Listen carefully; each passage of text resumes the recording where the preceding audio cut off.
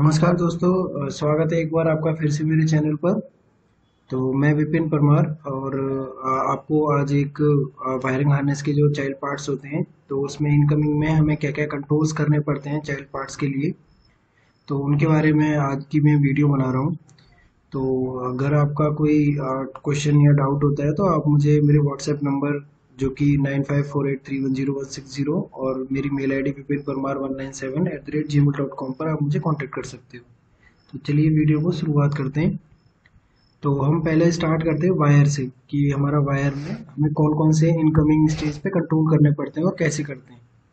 तो सबसे पहले तो हमें जो हमारा, जहाँ से हम अपना वायर जो ले रहे हैं तो कौन से सप्लायर से आ रहा है, कौन, क्या वायर का टाइप है ए है ए है ए है किस टाइप का वायर है, क्या उसका साइज़ है, क्या उसका कलर है ब्लैक है ब्लू है, और उसकी इंसुलेशन टाइप कैसी है?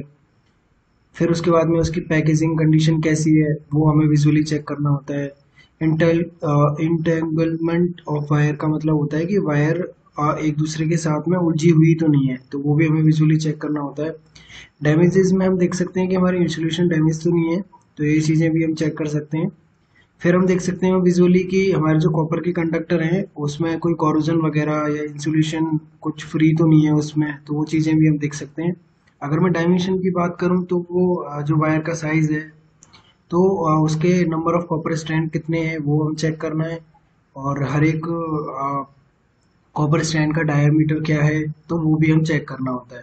फिर वायर का रेजिस्टेंस क्या है माइक्रोमीटर से वो भी हमें चेक करना होता है। वायर का ओडी क्या है इंसुलेशन की थिकनेस क्या है? जो उसके ऊपर पीवीसी इंसुलेशन हो रखी है, उसकी थिकनेस क्या है? वो भी हमें इनकमिंग स्टेज पर चेक करनी होती है। उसके बाद में हम इंसुलेशन रेजिस्टेंस भी चेक कर सकते हैं टेस्टिंग इसकी होती है इंसुलेशन रेजिस्टेंस की तो वो भी हमें चेक करनी होती है। फ्लेमेबिलिटी फ्लेमेबिलिटी टेस्टर से हम उसका देख सकते हैं कि वो कितनी जल्दी आग पकड़ता है, उसकी फ्लेमेबिलिटी का रेजिस्टेंस भी चेक कर सकते हैं। हीट रेजिस्टेंस भी चेक करते हैं हॉट एयर ओवन में। फिर उसके बाद उसकी मटेरियल क्या है मटेरियल कोड क्या है वो हम, उसका M T C material testing जो सर्टिफिकेट होता है, उससे हम उसका पता लगा सकते हैं। नेक्स्ट हम बात करते हैं कि जो हमारे टेप होते हैं टेप में हमें क्या क्या चीज़ें चेक करनी होती हैं। लाइक like, कि उसका कलर क्या है टेप का?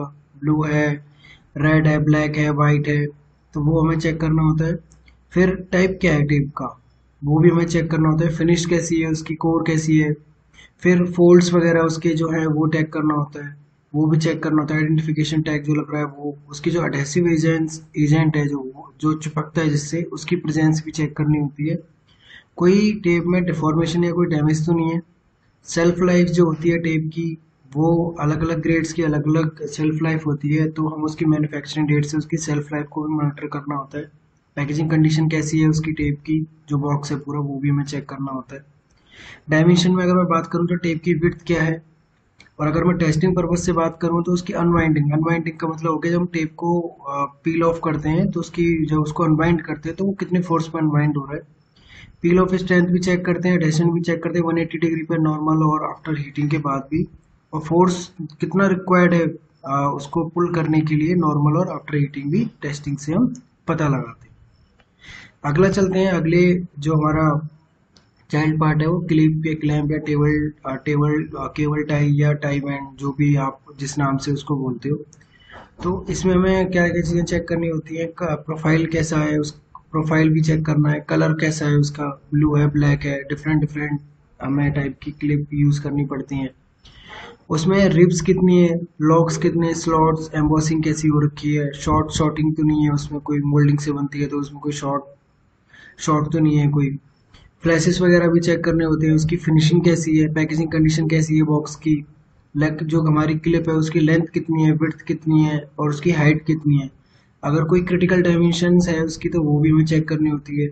दूसरा हमारी क्लिप में जो माउंटिंग माउंटिंग का जो एरिया होता है, वो माउंटिंग का एरिया भी हमें चेक करना होता है कि वो अच्छे से होल में, जो व्हीकल का होल है, उसमें अच्छे से वो माउंट होगा या नहीं। तो वो भी हमें चेक करना होता है। अगर मैं क्लैम्प की बात करूँ तो एंकर का इंसेंशन फोर्स मतलब जब हम उसको डालते हैं तो कितना फोर्स रिक्वायर्ड होता है? उसको जब रिमूव करते हैं तो कितना फोर्स रिक्वायर्ड होता है? बकल का इंसेंशन फोर्स क्या है? रिमूवल फोर्स क्या है? और उसकी मटेरियल की प्रॉपर्टीज़ क्या है, वो भी हमें टेस्ट करना पड़ता है। इसके बाद में चलते हैं हम, अगला हमारा जो चाइल्ड पार्ट है, वो फ्यूज़ है। तो फ्यूज़ में हमें क्या क्या चीज़ें चेक करनी पड़ती हैं? फ्यूज़ की रेटिंग क्या है? Ten ampere five ampere twenty ampere तो वो भी हमें चेक करना होता है। और मेकर कौन है उसका? इंटरफेस से आता है या डेंसो देता है और भी बहुत सारे सप्लायर्स हैं जो आपके फ्यूज़ वगैरह जहाँ से आते हैं। कलर क्या है उसका? प्रोफ़ाइल प्रिंटिंग अगर कुछ एम्बोसिंग प्रिंटिंग है उस पर ten ten ten A M P ऐसे करके उसके एम्पियर रेटिंग लिखी होती है तो वो भी हमें चेक करना होता है। रिप स्लॉट भी हमें चेक करना होता है। बेसिकली जो इसके टीथ होते हैं, वो भी हमें चेक करना होता है और जो यहाँ पर एक जो कंटिन्यूटी बनाता है, वो भी हमें देखना होता है कि कहीं वो ब्रेक तो नहीं है। प्लेटिंग जो हो रखी है, इसके टिप्स पे टीथ पे, वो भी हमें देखना पड़ता है कि प्लेटिंग कैसी है। कंडीशन कैसी है ब्लेड की, वो भी देखना है, उसकी पैकेजिंग कंडीशन कैसी है। लेंथ कितनी है फ्यूज़ की, जो फ्यूज़ बॉक्स में लगेगा। लेंथ अगर बड़ी होगी तो वो फ्यूज़ बॉक्स में अच्छे से फिट नहीं होगा। विथ क्या है, उसकी हाइट क्या है, और जो ब्लेड है ब्लेड की हाइट क्या है ब्लेड की विथ और ब्लेड की थिकनेस, जो ब्लेड है ये, इसकी थिकनेस, क्योंकि ये माउंट होता है आपका फ्यूज टर्मिनल में, फ्यूज बॉक्स में। तो उसके लिए इसका सारा डायमेंशन भी मीजर करना पड़ता है, ताकि वो इजीली उसका इंसर्शन हो सके।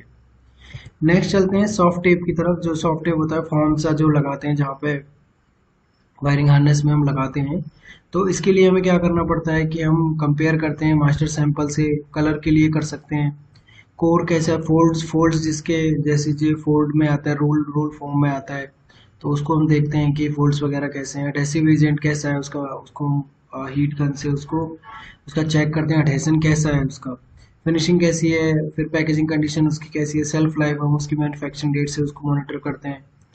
अगर आपने देखा वायरिंग हार्नेस की ड्राइंग में तो लेंथ और और विड्थ फॉर्म की दी हुई होती है तो उसके हिसाब से अगर वो कटेड कट सेक्शन में अगर आपका फॉर्म आ रहा है तो उसकी लेंथ ठीक है, नहीं है विड्थ फॉर्म की ठीक है हाइट हाइट उसकी जो होनी चाहिए फॉर्म की, वो एक्यूरेट है या नहीं। या फिर हम उसके बाद जो पील ऑफ़ एट्टी डिग्री पे डेशल आफ्टर ट्वेंटी फोर आवर्स की टेस्टिंग के बाद में वो भी उसमें चेक करते हैं सॉफ्ट टेप में, जिसको फॉर्म टेप भी बोलते हैं। नेक्स्ट हम बात करते हैं टर्मिनल की। तो टर्मिनल में बेसिकली बहुत सारी चीज़ें होती हैं जो हमें इनकमिंग स्टेज पे चेक करनी पड़ती हैं लाइक वो टिन प्लेटेड है गोल्ड प्लेटेड है तो उसकी प्लेटिंग की कंडीशन देखनी पड़ती है प्रोफ़ाइल देखना पड़ता है मोसिंग रिप्स वगैरह भी देखनी पड़ती हैं। डिफॉर्मेशन तो नहीं है, उसका आगे से अगर एल टर्मिनल है रिंग टर्मिनल है तो वो डिफॉर्म तो नहीं है। रस्ट तो नहीं है उस पर अगर टर्मिनल बैंड तो नहीं हो रखा। टर्मिनल की डायरेक्शन भी देखनी होती है, जब एप्लीकेटर में लगता है तो वो डायरेक्शन से ही लगता है। फिर टर्मिनल की वाइंडिंग डायरेक्शन भी देखनी होती है, वो कैसे बाउंड कैसे वाइंड हो रखा है, वो आपके जो टर्मिनल रील जो होती है, उसमें। पैकेजिंग की जो रील होती है। लेंथ क्या है टर्मिनल की विर्थ क्या है हाइट क्या है, कितने नंबर ऑफ़ उसमें स्टेप्स हैं, कितने नंबर ऑफ़ स्लॉट्स उसमें हैं, वो सारी चीज़ें देखना होता है। फीमेल है या फीमेल है मेल फीमेल दोनों को इंसर्ट करके भी हम देख सकते हैं। अगर मेरा रिंग टर्मिनल है तो उसकी आईडी क्या है ओडी क्या है सीट की थिकनेस क्या है। अगर कोई क्रिटिकल अगर हमारा है तो क्रिटिकल डायमेंशंस माउंटिंग डायमेंशंस अगर है उसकी तो वो भी हमें चेक करनी होती है। फंक्शनली प्लेटिंग थिकनेस उसकी अगर प्लेटिंग की जो थिकनेस उस पर अगर टेन प्लेटेड है तो प्लेट टेन जो प्लेट हो रखा है प्लेटेड उस पर उसकी थिकनेस क्या है, वो चीज़ें भी हमें देखना पड़ता है। फिर हम क्रिम्प करके भी चेक कर सकते हैं, उसका जो फोर्स है, पूरा पुल टेस्टर से हम देख सकते हैं कि कितना क्रिम्पिंग फोर्स वो सहन कर पा रहा है। फिर हम देख सकते हैं कि इसका इंसर्शन फोर्स क्या, कितना है रिटेंशन फोर्स भी हम उसको चेक कर सकते हैं। फिर हम उसका सॉल्ट स्प्रे टेस्टिंग भी कर सकते हैं only for the plated terminals के लिए होता है सिस्टिक चैम्बर में। फिर हम उसके मटेरियल ग्रेड के लिए टेस्टिंग भी कर सकते हैं इनकमिंग स्टेज पे। हम एमटीसी भी देखते हैं जब हमारा टर्मिनल आता है सप्लाई एंड से। नेक्स्ट हम चलते हैं करेक्टर की तरफ़। करेक्टर में बेसिकली बहुत सारी चीज़ें होती हैं जो हम इनके, हमें इनकमिंग स्टेज पे कंट्रोल करनी होती हैं। तो लाइक उसका कलर क्या है प्रोफ़ाइल क्या है रिप्स स्लॉट एम्बोसिंग है प्रिंटिंग वगैरह उस पर हो रखी है तो। फ्लैशेस तो नहीं है शॉर्ट मोल्ड तो नहीं है, कोई डिफॉर्मेशन तो नहीं है मेरी का कपलर में। लेंथ क्या है, उसकी विथ क्या है हाइट क्या है, जितने उसमें नंबर ऑफ़ होल्स होने चाहिए, जो टर्मिनल हम उसमें डालते हैं एट पोल है सिक्स सिक्सटीन पोल है टेन पोल है, उतने नंबर ऑफ़ पोल्स को हमें चेक करना पड़ता है। अगर कोई सेकेंडरी लॉक उसमें है तो वो भी हमें चेक करना पड़ता है। एक अगर आपने देखा एयरबैग का कपड़ा होता है उसमें रबड़ की एक रबड़ का एक पार्ट लगा रहता है वो भी हमें चेक करना होता है। अगर कुछ कुछ आ, और सेकेंडरी अगर कुछ उसमें और पार्ट लगा हुआ है कपलर के अंदर तो वो भी हमें चेक करना पड़ता है। आईडी क्या है ओडी क्या है जो हमारे होल्स हैं उसके वो भी हम चेक कर सकते हैं। अगर कोई क्रिटिकल डायमेंशन है तो उसको भी हम चेक कर सकते हैं। फिर हम उसमें अपना टर्मिनल के अंदर डाल के भी चेक कर सकते हैं कितना उसका इंजर्शन फोर्स और रिटेंशन फोर्स है, कितना पुल करने पे वो कितना लोड विद स्टैंड कर पा रहा है। हीट एजिंग वगैरह भी उसकी हम देख सकते हैं हॉट एयर टेस्टर से इंसुलेशन रेजिस्टेंस भी हम इसकी देख सकते हैं, जहाँ हमारे कपलर इंजन रूम के होते हैं, बहुत सारी जगह जगह व्हीकल्स पे माउंट होते हैं तो वो हमें चेक करना होता है। उसकी हीट एजिंग प्रॉपर्टी इंसुलेशन की प्रॉपर्टीज़ और उसकी मटेरियल की प्रॉपर्टीज़ को हमें चेक करना पड़ता है। नेक्स्ट हमारे जो चाइल्ड पार्ट होते हैं ग्रोमेट्स होते हैं, रबड़ के पार्ट्स होते हैं कैप हो गया, या कोई टर्मिनल के हमारे जैसे टर्मिनल होता है टर्मिनल के ऊपर भी एक कैप लगती है, वो हो गया, या हमारा जब वेल्डिंग हो जाती है, उसके ऊपर एक कैप लगती है वायर्स के ऊपर तो वो भी हमारे रबड़ के पार्ट में आ जाता है। तो इसमें हमें क्या क्या चीज़ें हैं जो हमें देखनी पड़ती हैं कलर कैसा है, उसका प्रोफ़ाइल रिप्सलॉट या वॉशिंग वगैरह अगर है तो वो चेक करनी होती है फ्लैशेस तो नहीं है। कोई वाइट ब्लूमिंग का मतलब कोई वाइटिश टाइप का तो नहीं हो रखा पिन होल्स तो नहीं है। मोल्डिंग का कोई डिफेक्ट तो नहीं है, उसमें पैकेजिंग कंडीशन सेल्फ लाइफ उसकी हमें मॉनिटर करनी होती है। मेटेरियल की एक प्रॉपर्टीज़ होती है, जिससे हमें सेल्फ लाइफ को मॉनिटर करना होता है। अगर हमारे ग्रोमेट है तो उसमें लेंथ क्या है विथ क्या है, उसकी हाइट क्या है ग्रोमेट की, क्योंकि ये आपके व्हीकल में माउंट जाके होता है तो वो एक एक स्पेसिफाइड ही लोकेशन होता है और स्पेसिफाइड डायमेंशन होती हैं, तब जाके ये आपका ग्रोमेट व्हीकल में फिट होता है। आईडी क्या है उसकी ओडी क्या है? हार्डनेस हमें उसकी मेजर करनी पड़ती है हार्डनेस टेस्ट से। अगर कोई क्रिटिकल डायमेंशन है मीन डायमेंशन अगर हमें है तो वो भी हमें करना पड़ता है। एक्सपेंडर टेस्ट जब हमारा वायरिंग हार्डनेस में जब हम उसको एक्सपेंड करते हैं तो वो एक एक्सपेंडर टेस्ट भी करना पड़ता है कि कितना एक्सपेंड इसको कर सकते हैं। हार्डनेस क्या है, ये भी हमें देखनी पड़ती है। ओजोन टेस्टिंग ओजोन चेम्बर में भी करनी पड़ती है। नेक्स्ट हम टेंसाइल का स्ट्रेंथ चेक भी कर सकते हैं और मटेरियल की थर्ड पार्टी की रिपोर्ट भी हमें इनकमिंग स्टेज पर चेक करनी होती है। नेक्स्ट हम चलते हैं कि जो हमारे हार्ड या फिर हीट श्रिंक की ट्यूब होती है चेस्टी जिसको हम बोलते हैं हीट श्रिंक ट्यूब या फिर हमारे हीट रेजिस्टेंस की पीपी या पीवीसी की जो ट्यूब्स होती हैं उनमें हमें क्या क्या चीज़ें चेक करनी पड़ती है। कलर क्या है, उसका फिनिशिंग कैसी है प्रिंटिंग फ्लैशेज कुछ अगर उस पर प्रिंट हो रखा है, वो कैसा है लेज़र मार्किंग वगैरह सेल्फ लाइफ कैसी है, उसकी पैकेजिंग कंडीशन कैसी है लेंथ कैसी है, ट्यूब की, आईडी क्या है, ओडी क्या है, और हम उसका इंसुलेशन रेजिस्टेंस और जो विदस्टैंड वोल्टेज है, वो हमें वो भी हमें मिसर करना होता है इंसुलेशन रेजिस्टेंस टेस्टर से। हीट की रेजिस्टेंस कैसी है, जब अगर मेरी एच एस है तो उसमें जब मैं हीट डालूँगा तो वो श्रिंक होती है तो वो हमें रेजिस्टेंस एक बार चेक करना होता है। मेटेरियल कोड क्या है, वो भी हमें चेक करना होता है। उसका कलर क्या है, वो भी हमें बहुत सारी चीज़ें चेक करनी पड़ती हैं। नेक्स्ट चलते हैं, जो वाटर की जो सील्स होती हैं वाटर प्रूफ कपलर के लिए जो टर्मिनल पे लगती है क्रिम्प होने से पहले, फिर वो एक वाटर प्रूफ कपलर में जब जाता है तो उस सील्स में हमें क्या क्या चीज़ें चेक करनी पड़ती हैं? हमें इसमें कितनी रिंग रिंग की सील है, वो three ring two ring four ring तो वो भी हमें चेक करना पड़ता है। कलर कैसा है, उसका प्रोफ़ाइल कैसा है स्लॉट्स वगैरह भी चेक करने होते हैं। बोर प्लस और सॉलिड है, या फिर हमें ये सारी चीज़ें सील विद बोर वो भी चेक करना होता है। फ्लैशेस क्या है मोल्डिंग की डिफेक्ट्स तो नहीं है। सेल्फ लाइफ हमें उसकी मॉनिटर करनी होती है पैकेजिंग कंडीशंस कैसी है। फिर उसके बाद में उसका जो आईडी है ओडी आईडी ओडी से जो हम जब उसमें वायर इंसर्ट करते हैं तो जैसे अगर पॉइंट फाइव का वायर है और उसमें अगर वो अंदर नहीं जा रहा तो इसके लिए हमें आईडी और ओडी को भी मैच करना पड़ता है। लेंथ एक बहुत क्रिटिकल डायमेंशन होती है, क्योंकि इस पर क्रिम भी होता है और ये आगे भी जाता है तो अगर लेंथ ज़्यादा होगी तो ये आगे जाने के चांसेस बहुत ज़्यादा होते हैं टर्मिनल की साइड नेक्स्ट बात करते हैं जो हमारे प्लास्टिक के पार्ट्स होते हैं लाइक प्रोटेक्टर हो गया कवर हो गया है कोई हमारा ब्रैकेट अगर हार्नेस में लग रहा है तो उसके हम, उसके लिए हम क्या क्या चीज़ें चेक करते हैं? तो बेसिकली अगर जैसे मेरे ग्रोमेट हो गए प्रोटेक्टर्स हो गए, ये हम जिग उनके फिक्चर्स जो होते हैं जिग्स जो होते हैं सप्लाई एंड पर वहाँ पे अभी उनको फिक्चर में डाल के उनकी एक फिटमेंट जो है, उसका हम चेक कर सकते हैं। तो अगर मैं इसकी बात करूँ प्रोटेक्टर्स की तो उसका कलर क्या है कोई प्रोफ़ाइल क्या है स्लॉट रिवर एमोसिंग वगैरह भी हम उसका चेक कर सकते हैं। फ्लैशेस तो नहीं है शॉर्ट मोल्डिंग तो नहीं है मोल्डेड के डिफेक्ट्स तो नहीं है। मेटिंग पार्ट जो है उसका, उसमें वो फिटमेंट हो रहा है इजीली नहीं हो रहा है। डिफॉर्मेशन तो नहीं है उसमें, कुछ पैकेजिंग कंडीशंस उसकी कैसी है, जो पैकेजिंग स्टैंडर्ड अप्रूव्ड है, वो फॉलो हो रहा है, नहीं हो रहा है, वो भी हम चेक कर सकते हैं। अगर कोई माउंटिंग डायमेंशन हैं, जो बहुत क्रिटिकल डायमेंशन हमारी जो होती है, इसमें माउंटिंग की डायमेंशन होते हैं, जो व्हीकल में माउंट होता है। तो वो सबसे ज़्यादा क्रिटिकल है, वो हमें आई डी ओ डी उसकी हमें देखनी पड़ती है ओवल शेप है या आपका सर्कुलर शेप है तो वो सारी चीज़ें हमें देखनी पड़ती है विथ क्या है, उसकी हाइट क्या है, क्योंकि ये आपकी व्हीकल में माउंट होता है तो बहुत क्रिटिकल डायमेंशन होती हैं। फिर हम इसमें देखते हैं कि जो हम वायर राउट कर रहे हैं, वो इजीली राउट हो रहा है या नहीं हो रहा। फंक्शनल टर्मिनल फोर्स की टेस्टिंग होती है और टर्मिनल रिटेंशन फोर्स की भी टेस्टिंग हम कर सकते हैं। नेक्स्ट हम बात करते हैं जो हमारा रिले रिले और आपका फ्यूज बॉक्स होता है या बेस होता है या फिर फ्यूज ब्लॉक होता है उसमें हमें क्या क्या चीज़ें चेक करनी पड़ती हैं? उसमें हमें कलर क्या है? कोई क्रैक्स वगैरह तो नहीं है कोई डैमेजेस तो नहीं है कोई एम्बोसिंग अगर कोई प्रिंटिंग हो रखी है सपोज़ जैसे कि हमारे मेन हार्नेस में क्या होता है कि आ, जो फ्यूज बॉक्स होता है उस पर लेज़र की प्रिंटिंग भी होती है कि कौन सा फ्यूज़ कहाँ पर लगा हुआ है और शॉर्टकट में लिखा होता है कि ये फ्यूज़ इस पर्पज़ के लिए है। तो वो सारी प्रिंटिंग वगैरह भी चेक करनी है फ्लैशेस तो नहीं है शॉर्ट मोल्डिंग तो नहीं है, कोई डिफॉर्मेशन तो नहीं आ रखी मेटिंग पार्ट फिटमेंट में कोई प्रॉब्लम तो नहीं है, कोई पैकेजिंग को लेके कोई प्रॉब्लम तो नहीं है। लेंथ क्या है, उसकी विड्थ क्या है हाइट क्या है? और जो व्हीकल पे माउंट होने वाली जो बोल्ट्स वगैरह टाइट होते हैं तो उसकी क्रिटिकल डायमेंशंस में कंसिडर करते हैं तो वो चीज़ें भी हमें चेक करनी पड़ती है।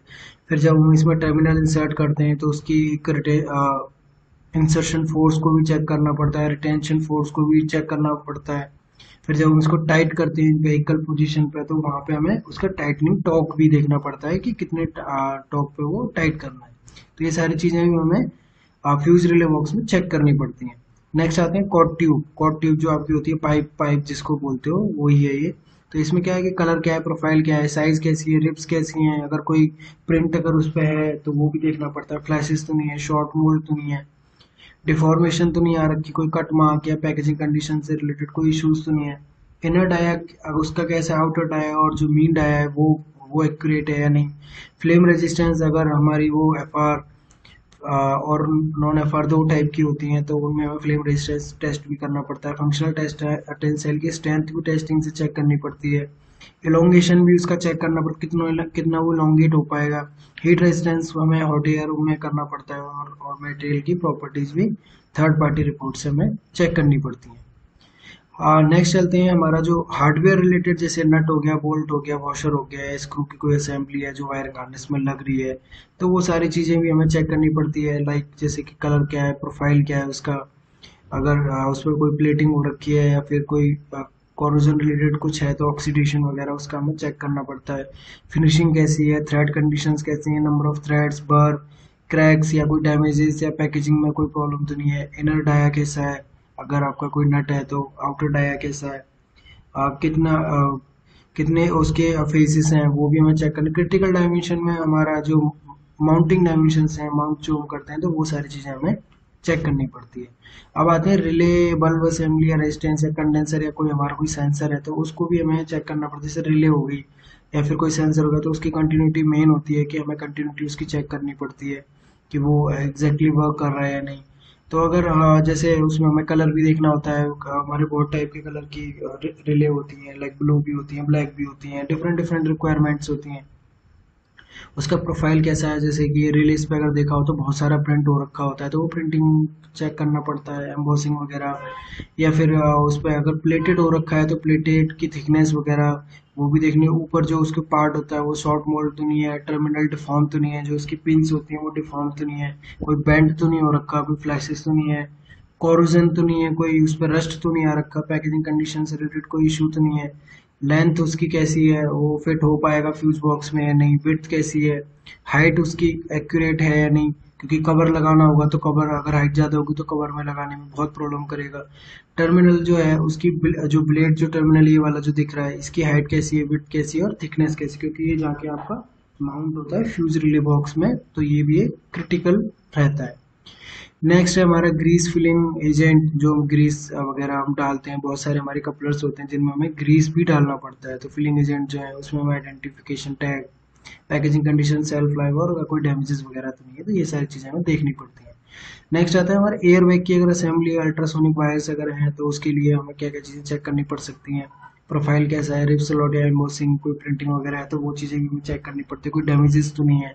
कोई फ्लैशेस तो नहीं शॉर्ट मोल्ड डिफॉर्मेशन या कोई पैकेजिंग कंडीशन से रिलेटेड कोई इशू तो नहीं है। वायर का डाया एक्यूरेट है, कोई वायर में प्रॉब्लम तो नहीं। कलेक्ट कनेक्टर है कि नहीं? लेंथ ठीक है क्रिटिकल डायमेंशन एयर बैग का अगर कपलर है तो वो सारा कुछ एक्यूरेट होना चाहिए। और लास्ट हमारा पैकेजिंग कंडीशन हमारी जो है मटेरियल की वो बैंड कट वगैरह डैमेजेस कोई कलर से रिलेटेड कोई इशू तो नहीं है। तो ये हमारे टोटल टोटल चाइल्ड पार्ट्स हैं। जो हमारे वायर हार्नेस में लगते हैं वायर्स हो गए टर्मिनल्स हो गए कपलर हो गए टेप हो गए फ्यूज हो गए क्लैंप हो गई फ्यूज रिले बॉक्स हो गया रिले हो गए फ्यूज हो गए protector grommet PVC tube seal और भी बहुत सारे हमारे चाइल्ड पार्ट्स होते हैं जो हमें वायरिंग हार्नेस में कंसिडर करने पड़ते हैं। तो ये सारा एक ओवरव्यू मैंने, एक बहुत शॉर्ट वीडियो बनाई है, जिसमें मैंने आपको पूरा बताया है कि हमें चाइल्ड पार्ट्स पे क्या क्या चीज़ें कंट्रोल करनी पड़ती हैं। अगर आपका कोई क्वेश्चन है तो आप मुझे, आप मेरी मेल आईडी पे कॉन्टैक्ट कर सकते हैं और नीचे कमेंट सेक्शन में भी आप मुझसे, अगर आपको कोई क्वेरी है तो आप मुझसे डायरेक्ट पूछ सकते हो। So thank you thank you every for watching thank you